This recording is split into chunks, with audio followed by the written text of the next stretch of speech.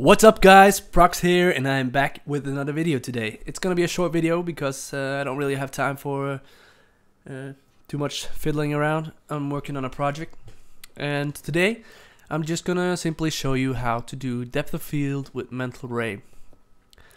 In the background here is the image I just rendered. Took quite a while and I'm gonna explain why right now. so I'm gonna go into 3ds Max here now this is just a simple scene that I set up to do this. I just, uh, to create the wall, I used a Max script. It's very simple, just randomize some boxes that moved in and out. Same with the sort of flooring here and then I just created some uh, default uh, teapots. Uh, applied some standard materials to everything in the scene and uh, lit, lit the scene with some free lights and some th and three spotlights in the roof here. Now, uh, in order to create uh, the depth of field effect, you need a camera. And in Mental Ray, the depth of field options are in the camera uh, options. So, uh, if I delete my camera, should delete it, and then I'll create a new camera. In order to create a camera, you can either go to the Create panel click on camera and create a camera here. Just click on free and then or target to create a free or targeted camera. Or you can click click uh, control C on your keyboard. Press control C on your keyboard. And that'll bring up a camera. Um, now what you what you want to do is you want to select the um, camera target and place it where you want uh, your camera to kind of focus. In my case, I wanted to focus on the center pot right here. And then you select your camera. You go into the modifiers tab. And under the multi-pass effect uh, parameters rollout, enable it and select depth of field with mental ray in parentheses, not the regular depth of field the one with mental ray. Now the way this works is it works basically just like a camera. This is the target distance plane. That's what will be in focus. The the uh, plane here is what will be in focus. So everything that's uh, above and and below the uh, line of focus will be in focus.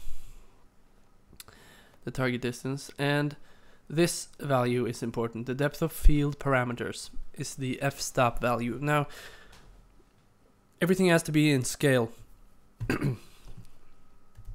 for this to work. So I created a realistically scaled uh, scene here. The teapots are, well, they're a little big, but they're still realistically within scale. Is about 10 centimeters per box here. And so the f-stop value works. So if, if you don't get the effect, then scale your scene realistically because mental ray is very physically based and if you take a picture of a giant car which is three kilometers high you won't get that bokeh or depth of field effect. Now this uh, f-stop value the lower it is the more uh, depth of field you'll get or the more blurriness. So if I set this down to say 0.3 you can see here a lot more blurriness going on around the corners now that is for you to decide how much you want it. I like a subtle effect. Or, well, not subtle, something in between. You can get something real subtle by by uh, applying an even higher value. As you can see, this is uh,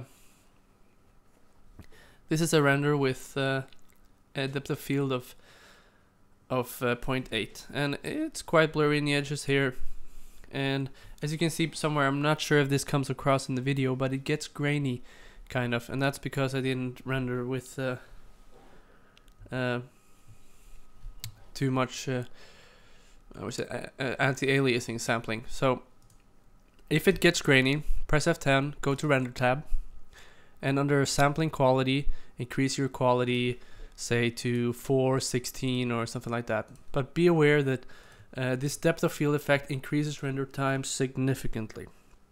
So if you already have a long render time, adding this to uh, the scene can be increase increase render time quite a lot.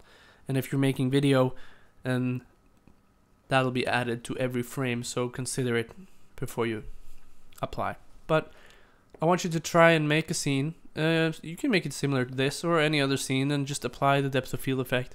Feel free to leave me a, a response to see how what you would, did with it. So remember, uh, once again, create a camera, go and click on a camera, go into the depth of field parameters, multi-pass effect, enable it, a depth of field mental ray, and set the f-stop value to something low. It'll stay uh, it'll stay at 2 that's the standard value so turn it down to about 1.5 or 1.8 or whatever you want to um, to get the effect I'm not gonna render right now because uh, well it takes forever uh, well here's the original render this is what it looks like and um, yeah, tell me what you think. If you're wondering on anything, anything was unclear, leave a comment below, and I'll answer you straight away.